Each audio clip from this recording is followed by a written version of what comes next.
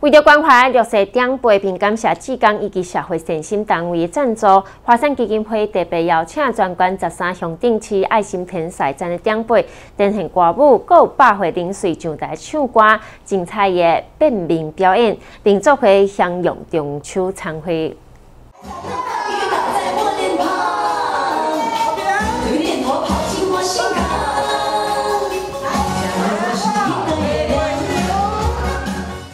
华山基金会的关内各乡镇市爱心天赛站的长辈，今仔日来到玻璃顶庆祝中秋节，因带来精彩歌舞表演，来自超顿一百零二岁人士唱爱拼才赢，祝福大家爱食百二。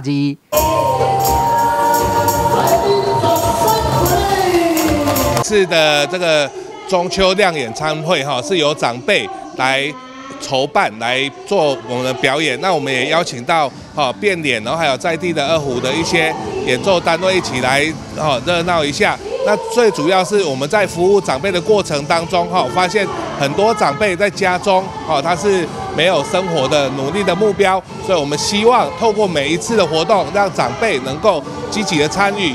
为了庆祝一年一度的中秋节，主办单位邀请弱势长辈来做会动乐。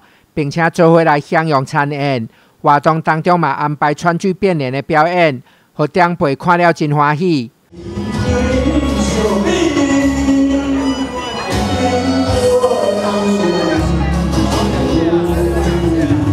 哦，真欢喜啊！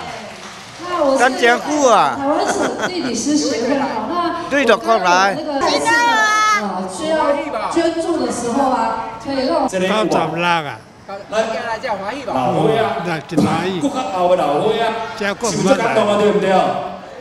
华山基金会的专管服务真济多期长辈，包括玻璃三明水秀赛主会等单位，拢赞助经费，关怀弱势长辈生活。未来期待社会各界继续互因支持，照顾更加侪需要帮助的弱势族群。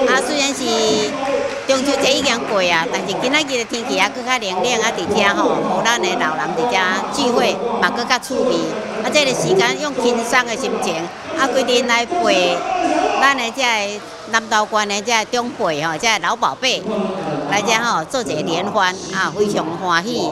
大家拢贡献你家己会晓唱歌啦，会晓表演啦吼。华山基金会伫南投县各乡镇市拢有爱心天赛站，推动各项的公益活动。绿色长辈照顾服务，透过中秋关怀餐会，互外界看到因的成果，嘛互长辈照出来联谊同乐。记者黄龙坤采访报道。